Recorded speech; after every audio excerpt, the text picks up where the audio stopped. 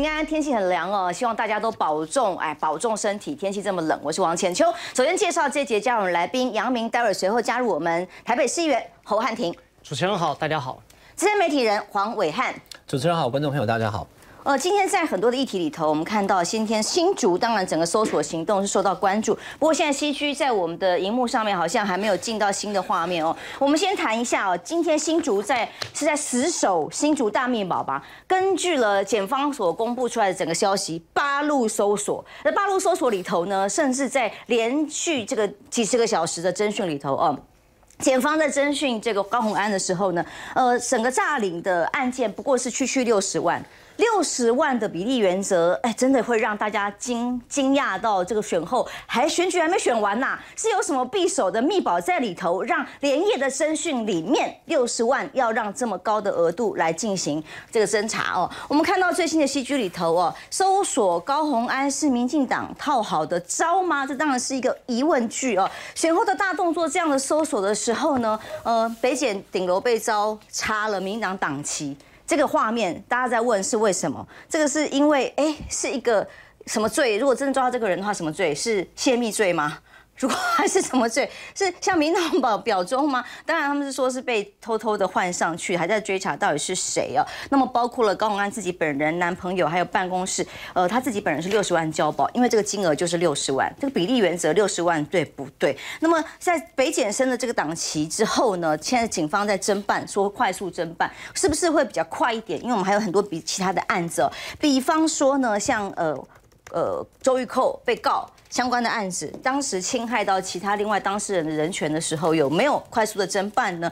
那么，而且大张旗鼓、兵分八路，大家觉得非常的离谱哦。那当然，其中柯建明笑了，这个笑意藏不住之外，我们还看到了，包括了沈慧红，哎呀，终于正确的戏剧回来了，大家恭喜大家！天气冷，机器也冷啊。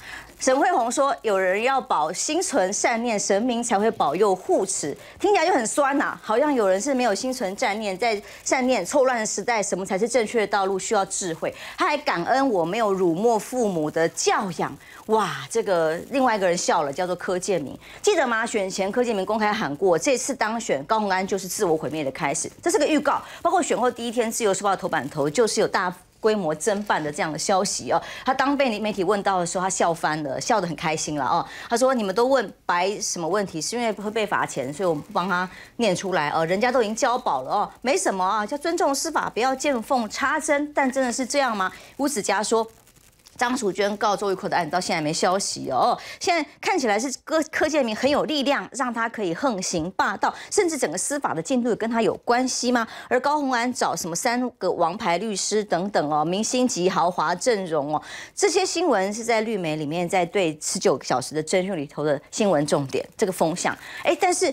其他阵营有一些人在对于高鸿安，尤其是民众党，当然要对于涉贪这个消息来加以辩护的时候，要维护他的时候，时代力量林颖梦也跳出来说，嗯，要不要也声援我？但是他自己过去的确就是有这个。实际的侵占的内容嘛，那么以至于网友就把他骂翻了，说这个是可以比吗？哦，但还有个人拿制表来比，叫做周玉蔻，他说要笑着开心的活着看他坐牢，去比对各种李颖梦、高洪安等等的这种呃消息跟内容。逆风的乌鸦说，北检非常善解人意，怎么说呢？哦，生压的话，把他真的关起来抓起来。不放过会弄到没有办法就职补选，民党会赢吗？其实会是一个很尴尬的场景。我们想想看，如果他是直接被收押之后，直接被迫补选，那么到时候民意在新竹会是怎么样的沸腾？会真的认为他有罪，还是更多会认为是司法迫害呢？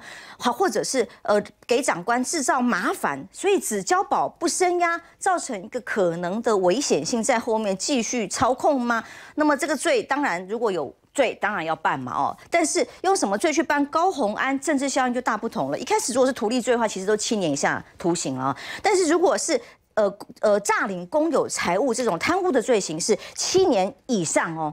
那么当然，业务登载不实就是登载不实罪而已啊，最高就三年嘛。那么所以要符合羁押要件三个，要五年以上的重罪，就要用贪污罪才有办法办得到，否则的不管图利了，或者是登载不实、伪造文书，通通都不符合啊。所以这个所谓的公积金制是不是独创哦？当然，现在立委本身跟助理两个讲法是相反的，一个是前面的立助理就说啊，前面立委这样办我沿用。但他自己说，呃，助理却指控他说没有没有，是你要求我们这样做，我们还提醒过你。现在这个是变成这个案情的关键。当然，司法侦查理论上应该不公开，但现在所有消息都被特定的放出来之后，呃，很多的评论认为司法在没收选举吗？高虹安的选举还没有选完，现在要干什么？要选的东西，选的选战役是跟民进党司法的战争吗？我们来回头听一下馆长陈之汉他的说法。你要办他没有问题。有必要这么大阵仗吗？有必要演成这样吗？搞得一副连续剧一样。昨天哦，好像抓到一个贪了几千亿的，好像一个，哎好像抓着总统呢。我以为是在抓总统呢，那个阵仗，那个新闻报道那个那个力度，那个阵仗，从白天演到晚上，我真的没看过嘞。民进党执政的时候，卢渣案三年前办的时候。检察官被换了好几个，要办呢就被换掉，要办呢就换掉。二十一点六亿，二零一五年到现在才起诉，这么大的案子，你有看过检调这样演吗？我现在跟你民进党政府讲了，二零二四年哦，立文书威，你让台湾人民看清楚了，再让你们执政啊，台湾都不台湾了，太恶心了。司法侦办的程程度哦，到什么什么合理的比例原则，其实大家都在看呐。所以不只是补选会不会补选而已，还有二零二四的选情，民党也得要顾啊。会不会有过当，或是选后的追杀呢？维汉觉得，陈志汉馆长现在是最接地气的评论员，他虽然不是政治评论员，可他是时事评论员。他直接举这个例子，我觉得还蛮可以让大家能有感的，就是说卢渣已经过那么多年了，那你一开始。还办是不起诉，那过了几年发现说原来之前的那个整个也是不够严谨的。那高宏安这个事情的话，大家觉得说哇，比例原则上来讲的话，真的就是大动作了。二十一亿跟六对，就是大动作。那当然我们不知道案情的内容哈，就是说到底是不是他是用什么去办？只是呢，呃，我是觉得啦哈，就是社会会检视现在目前讲到对高宏安这些动作。不过我还蛮能够理解为什么他要去的，因为他已经快要卸任他的立法委员的职务，他要离开立法院了。那从事情。被揭发居民检举到现在都没有到立法院去搜，不去搜，其实基本上好像也没有完成那个、那个、那个整个侦办的过程。可是你到了已经选后了再去搜，你是能搜到什么？其实有一公他嘴盖啊，那这说实在的啦哈，就是说真的是犯罪的人，他他他该处理的账本他也都处理掉了，这是第一个。第二个，现在看起来我觉得李宗廷他直接五保请回，然后高欢是六十万，这让我觉得有点看不太懂，因为李宗廷是她的男朋友嘛，对不对？她回捐了民众党六十万嘛。那所以李宗廷如果不是助理，而拿了助理费又回捐给民众党，他为什么要回捐？因为呢，我根本没有上班嘛，这就叫诈领哦，那这是很严重的。那为什么李宗廷他是当事人？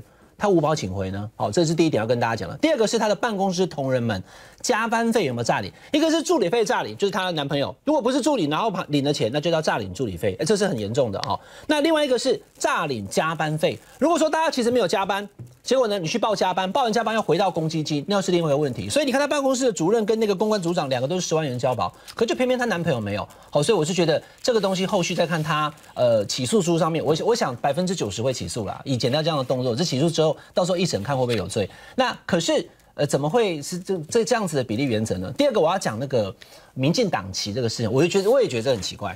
观众朋友必须知道哈，台北地检署的那个顶楼它是有门禁的，滴滴卡要滴哈，像我们这个，我现在身上就有一张，我今天来录影对不对？我就要有 TVBS 的卡，我才能够从地下室滴上来，不然我就滴不上来了。请在那边等等到五点，我也没有上来。如果没有卡的话，我就在停车场，我就进不来了。那台北地检署也是一样，你是门禁卡才能够到顶楼。那为什么会他他为什么可以去那个地方呢？他是台北地检署的员工吗？而且那个人现在我知道已经有拍到那个影片，他是戴着帽 T，整个都看不出身份的。好，这第一个，谁能够到顶楼？不是一般人可以去的哦。好，那第二个，谁身上随时有那个党旗啊？哎，它是一个很大的党旗，不是路边拿起来这样一个小小，它是大的哎。民进党党旗你去哪里弄啊？我到现在我也想不出来去哪里买哎。所以他既有党旗，他又能到顶楼，而且他没有把国旗卸下来，他把民进党旗放在上面，他的政治意涵非常的明确嘛，他就告诉你党在国之上嘛，你们看到他是把党旗放在国旗上面啊，还把你升上来，所以我是觉得啦，跟高欢有没有关哈？其实我觉得不重要，重点是这个人他的政治意图非常明确，他要告诉你台北地检署目前被民进党压着，已经是党所控制的地检署了，他是是一个抗议动作，不过我觉得。他可能最后这个当事人会被找出来了哈，我不知道他会面对什么样的问题。好，这个部分先跟大家评到这边。嗯，因为我自己也跑了司法三年，地检署办公室还蛮熟悉的，要进出的确不可能，尤其是检察官办公室相关，一定要有门禁卡。嗯，早期本来没有，因为记者都乱闯乱翻卷案啊，所以才全部都管制了，包括顶楼是真的不能随便人进去的，所以这看起来是一个。抗议的意图，或者甚至是内部人员的机会非常的高，所以是的确有它的象征意义，是不是也是一种民意的反扑的一种象征呢？呃，已经赶到了杨明，杨明他不先对整个安案侦办到进驻到现在哦，最新的一些评论看法。呃，对，如果接着这个伟汉哥刚刚讲的这个这个北检的这个党旗事件哦，我比较好奇是这个人他。呃，除了这种所谓的无故侵入建筑物这样的一个罪哦，就是刑法有一条是这个擅入这个住宅罪哦。除了这个之外，还有没有什么可能拿来办他的？公部门呢？对，对，他那个也包括政府机关，有一些政府机关没有开放的部分，他可能这样闯入的话。但是如果今天他假设假设他是一个洽公民众，他是真的有那天是有事情到北检，那他到顶楼去升升党旗这个行为，难道今天党旗是侮辱公署吗？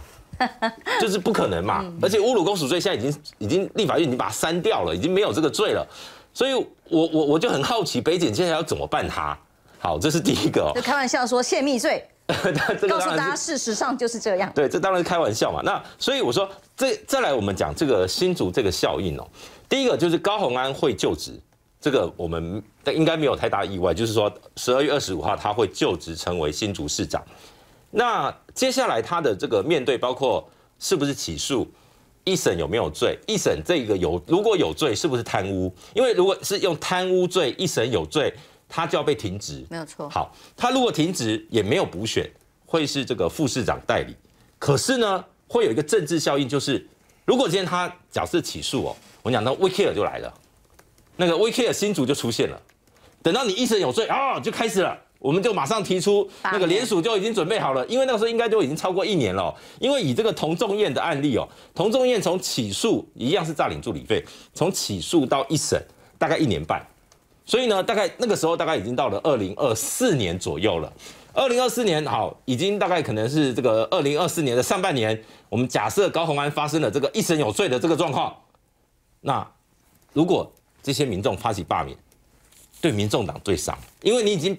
你唯一的市长已经被判有罪一审，你又被发动罢免，哎，那不得了，那等于是民众党被灭团的那种感觉。尤其如果那个时候柯文哲又没选上总统，如果啦，这都是一个假设嘛，就说如果那个二零二四，所以二零二四年可等于是民众党的一个很关键的一年，除了他的总统大选、立委选举，还有一个就是高鸿安能不能继续当这个新竹市长。那过去有一个案例哦，就是吴俊立。吴俊立过去被这个，他是在台东县长被停职，他停职的第一天，马上我就递辞呈，我们就来补选。哎，这会不会是给高鸿安一个一个一个一个这个案例哦？给高鸿安一个思考风模式哦？如果今天真的，一旦发生一审有罪被被停职的状况，要不要我直接递辞呈，直接补选？然后到时候会不会哎柯文哲？伤害最小，不是柯文哲直接下来选，就是啊，就是说伤害才会最小，免得后面是没有办法控制的。对，而且呢，柯文哲毕竟他是新主人嘛，嗯，到时候如果柯文哲也没选上总统，刚好就下去，我就把我民众党的这个版图，我我党主席亲征，把他党留下来，会不会有这样事？我不知道啊。也有人说柯文哲当副市长，万一他被停止，副市长就可以直接代理。这个可能要等到这个之后，他们再去做沙盘推演。但是我说补选是最好的模式，为什么？因为那是诉诸民意，嗯，这个不失为一种方法。为什么？因为你你与其被人家罢免之后再补选、再改选，还不如我主动说来，我们现在重新来诉诸民意。那我我我觉得这些哦都是呃未来高鸿安要面临考验啦。那当然，如果他十二月二十五号顺利就职市长之后，我认为关键还是在市政的部分。就是你的市政不不管是新竹棒球场什么什么什么什么关埔国小的啦，什么这些过去讲新竹大秘宝的这些案件，你要不要好好的查出来，然后呢给市民朋友一个交代？我觉得这是高鸿安在司法这个案件之余，他必须要做的。嗯，那他有没有办法让市民？毕竟。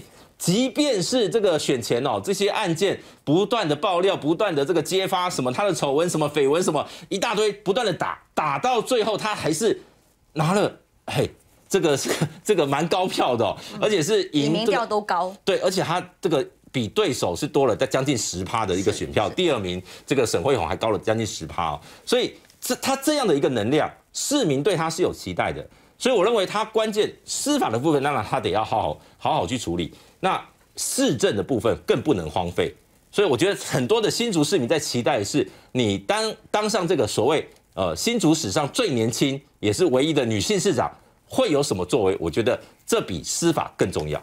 可是看起来就是柯建明的恐吓，那现在怎么去查？他光自己市政名单哦，团队名单都还没完全提出来的时候，就忙着应付官司了。那么现在如果只要被羁押或者是一审有罪，就直接会停止，就重新要重选了。那么怎么看？汉庭，接下来呃可能的发展，柯建明是如他的意了吗？真的是在他意料之中吗？这个柯建明说什么要相信司法啦、清白啦、司法公正啦，这是最大的笑话。因为柯建明过去就是官说司法最有命、最有名的代言人啦。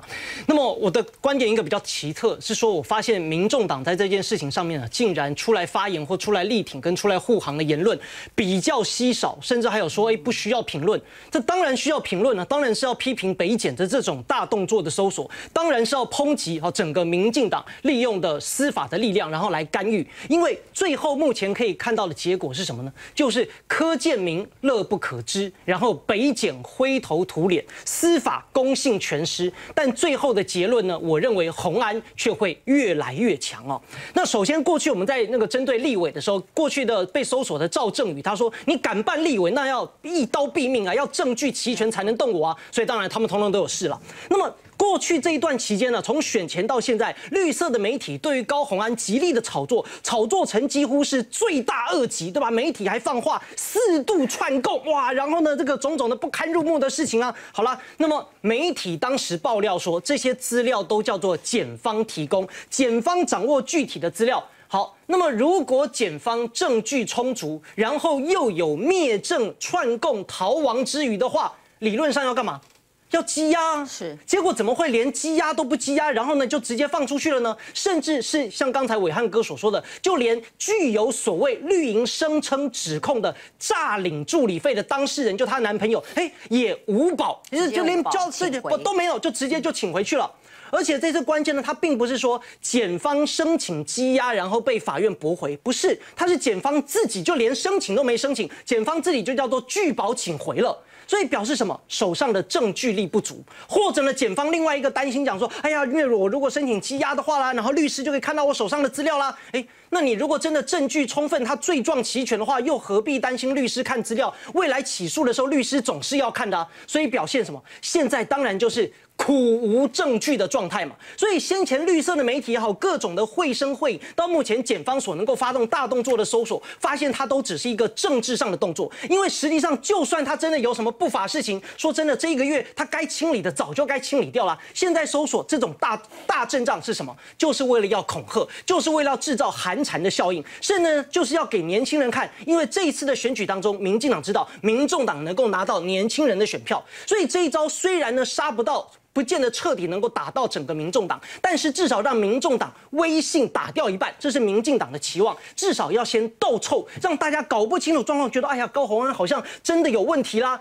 不见得票全归民进党，但先把民众党斗臭斗垮，让他营造一种有罪的感觉，这就是民进党想要的。所以呢，才会在当天我们看到有什么兵分八路，哇，就连高鸿安的家人也遭到搜索。这个我是觉得啊，这如果在民进党的手中有三千人，有所谓三千大军的话，大概也会怎么样呢？我建议他应该会三千大军呐，可以两千九百九十九人，兵分两千九百九十九路，好，以骑兵出席。最后一个人干嘛呢？那个人就。就是柯建明，他可以笑开怀，所以为什么会有这么样庞大的政治量？北检的检察长是谁？是林邦良，过去办过什么案件？办过马英九，后来就升官，所以背后的其中力量，大家可想而知。